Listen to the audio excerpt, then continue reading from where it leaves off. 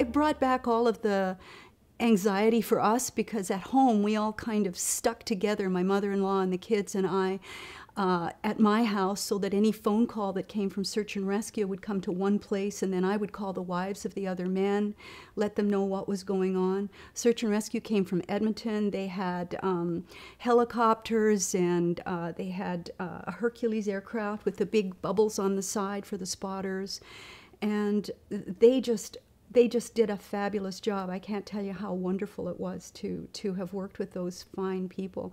And when they were discovered, it was the search and rescue SARS team that jumped out uh, with parachutes and put tents up for them. And and uh, it was funny because the guys said we were starving. We hadn't eaten anything in three days, and we'd been shaking so much, you know, that to try to keep warm, that your body is just desperate for some kind of food. And he said, even with that kind of hunger, we couldn't stand canned eggs.